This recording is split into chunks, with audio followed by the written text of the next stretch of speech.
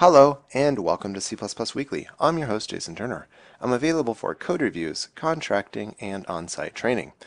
Now, in this episode, I am going to talk about the C++ box project that I have been working on and it is available here on GitHub. And as you can see, I have a very exciting website at the moment with only a little bit of a README and currently some failing continuous integration test and code coverage and code factors that could be improved. This is definitely a work in progress.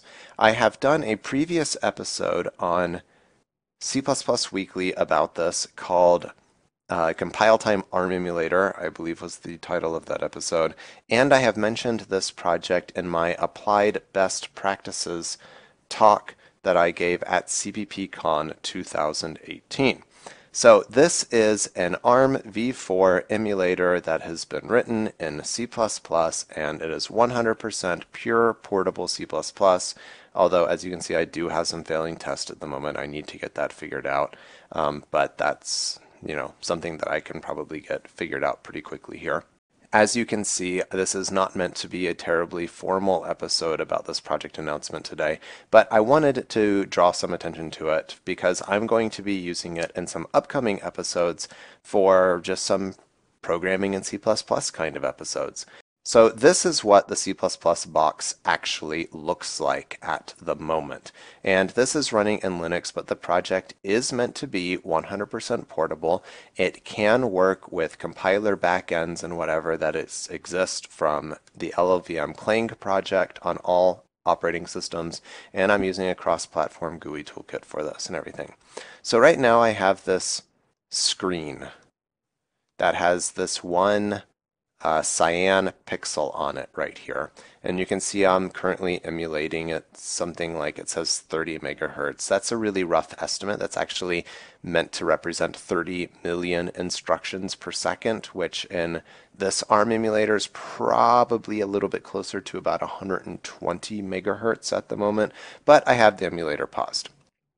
And I'm going to just walk through a little bit of what the whole goal of this project is. First of all, there is some possibility for using this as a teaching tool. This is um, still a little bit TBD on this stuff, so I'm going to hide that window away for the moment. But what I have here is an emulated ARM, right?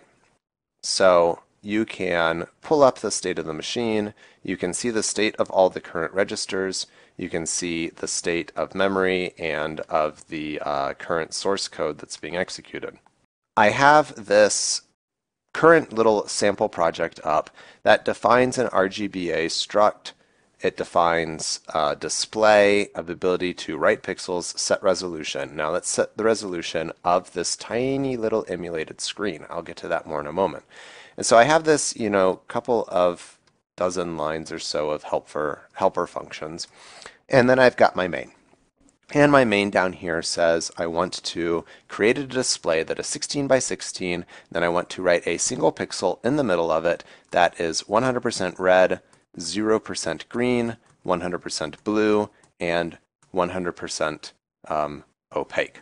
So I'm going to go ahead and hit the run button here. Now, with it running, what it's doing is it's basically constantly stepping through the project. So I am going to add something here to this because right now it's going to execute through the project and then it is going to just exit. Basically the emulator is going into a halted state. So I'm going to put in a loop here that keeps it inside the emulator and maybe we can play around a little bit and see what it's doing so each time you see that fuzziness there you can see it as basically rebooting so if I were to hit pause, it's in run mode. I am going to reset it. And now with it reset, we can see line 41 is highlighted. I'm going to step in and it's stepping in here to this set resolution code.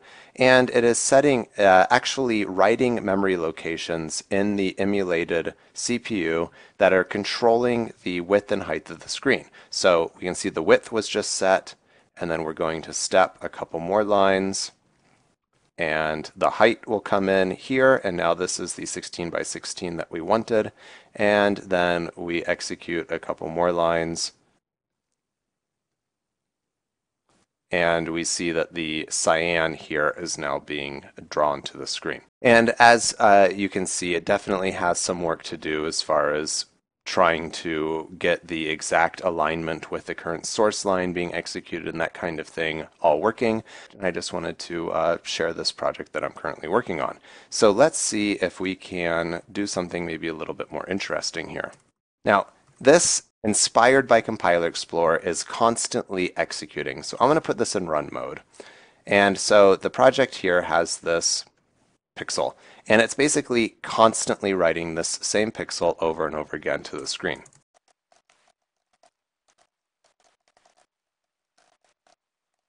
So now I should be drawing a line that goes halfway across the screen. And there it goes. The line is halfway across the screen. And we can see this is kind of uh, executing this while true loop over and over and over again here. And we can see which part of the memory is currently being executed and we can see if any registers are changing. And right now, only the program counter is changing, and that makes sense because it's just writing the same thing over and over again here. And we could make this slightly more interesting, perhaps, make it draw across the screen, make the current X location come into the color component of this. So we're going to get something of a varying color across the screen. And right now I have a compile error and I don't have the ability yet to actually show that, but that's currently in progress. So I have a compile error because this RGBA is expecting uint8_t's and I just passed it an integer.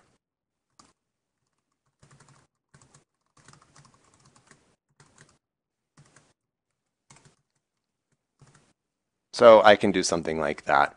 And now I should get a color that changes across the screen. But uh, changing just by a value of 8, this is not something we can really see on here. So that is the green component. Let's make that x times, say, 4 and see if we can start to see some color variation. But we can see it reboot and it execute the new code as we're typing along. And we're still not really seeing anything to speak of. There we go. So with a scale of 16, now this goes from cyan, or excuse me, from magenta to white. I think I said cyan earlier. So there you go. The, the entire point of this is to make a C++ environment that is fun and easy to work with. Obvious things that need to change. We need to get the um, display into some sort of dockable format so that there's not just a bunch of windows to shuffle around. I need to do better disassembly and debug tracking so that the current location being executed is better represented. And I need to display what errors and warnings there are, maybe syntax highlight those things in the editor to let you know where the errors and warnings are. And the learning component of it, these goals up here that are currently hidden away, that needs a lot of work, but it's an idea and a work in progress. So throw this out there. If anyone's interested in a project like this and contributing to it or anything like that, feel free to check it out. It's on GitHub, as I already showed. And I've attempted to make a bunch of issues that are in the user-friendly uh, first-time programmer kind of um, first-time contributor to this project tagged that way in the issues tracker in GitHub. So uh, check it out. And um, like I said, expect to see this come up more in future episodes.